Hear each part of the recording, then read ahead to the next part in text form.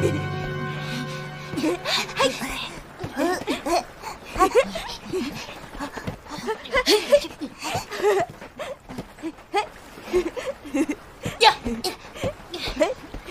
山，回来吃饭喽！把球给我，我要回家了。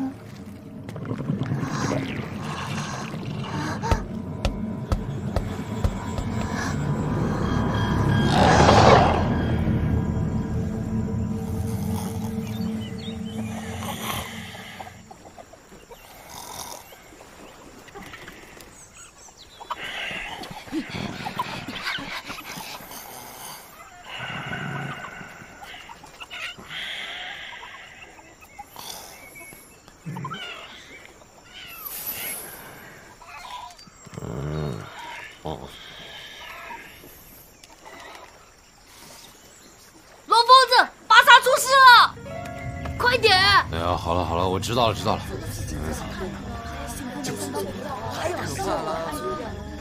我听说啊，隔壁村也有人被咬了，我好稀奇。这是龙王的诅咒啊！哎呀，阿祖啊，您老就别添乱了哈。那小巴萨没事，大夫说过两天就可以出院了。那另外吧，我已经派人啊，在这沿海一带已经安上防护网了。那大家天黑的时候千万不要出门啊！没事啊。你干什么，罗汉？这这个是地狱岛的湾鳄，普通防护网根本防不住的。地狱岛，离这里一百多海里呢，怎么可能的啦？对呢，鳄鱼能跑那么远来找食吗？我从来没有听说过这种事情。未必是觅食，可能是逃亡。哎呀，去去去去！嗯，逃亡？逃亡？你别在这胡说八道啊！那岛上还有恐龙啊，把鳄鱼吓跑了。我说的是真的。几个菜把你喝成这样子，哎，都散了，都散了，走了，阿祖，回去吧。哎，走吧，走吧，走了走了，回家。哎，走了，啊，走啊！天黑不要出门了啊！都走吧。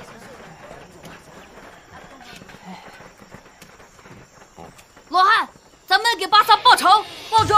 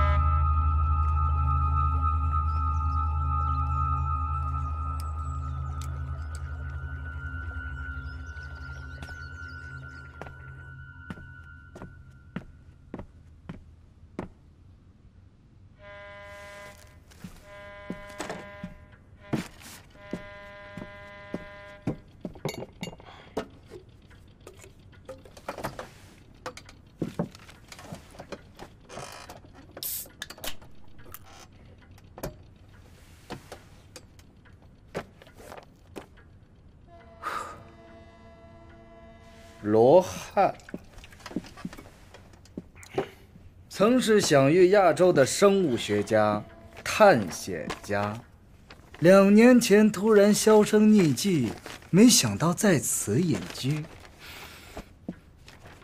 毕姓潘，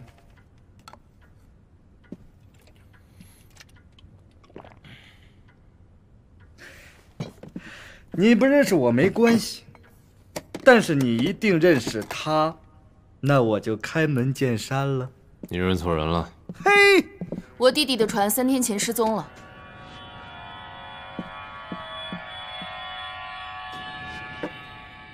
我怀疑他还活着。隆重介绍一下，这是我们财新集团的董事长孔明珠女士，国内最年轻有为的企业家。我们打听过了，你曾经两次登上地狱岛探险，那座岛上遍布食人鳄，你是享誉盛名的鳄鱼专家。只要你带队前往鳄鱼岛找人，这些酬劳就是你的。事成之后，还有双倍。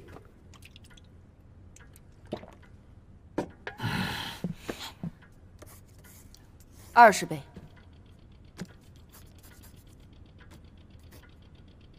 一百倍。是不是在你们有钱人的眼里，没有钱办不到的事儿？如果有，我相信是因为钱还不够多。就像罗先生致力于研究东南亚生物圈计划，一直苦于没有财力支持。有了这笔钱，你完全可以。那你知道，它为什么叫地狱岛？岛上生存着三千条食人鳄，有三分之二的岛屿覆盖着瘴气，就算戴上防毒面具也无法穿越。更何况，我不会去救一个作死的人。现在带上你的钱，离开我的船。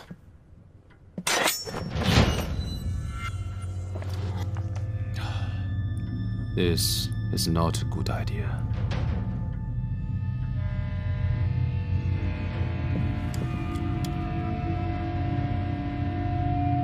Steve，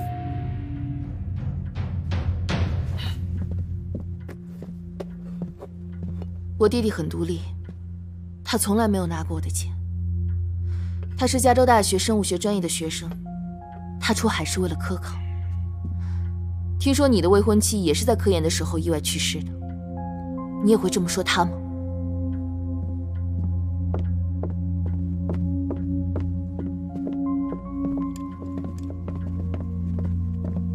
不是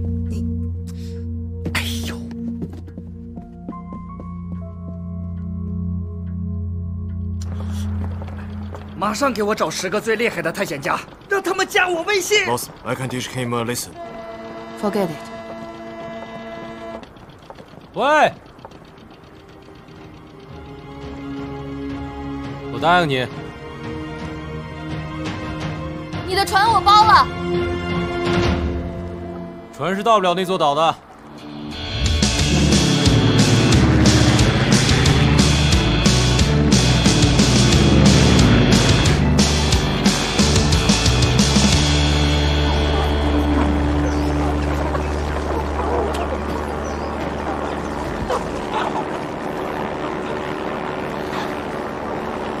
董事长，我就说开您的私人飞机，你看，这这这成何体统啊！地狱岛沿岸二十海里都是暗礁，船无法靠近。根据当天的天气，你的科考队应该是在岛的东南面触礁，然后被带到了这个区域。如果不是呢？那就死定了。其他区域都被毒瘴笼罩，普通人根本过不去。你这个人会不会聊天儿？哈，哈，呢哈。他说什么？到站了。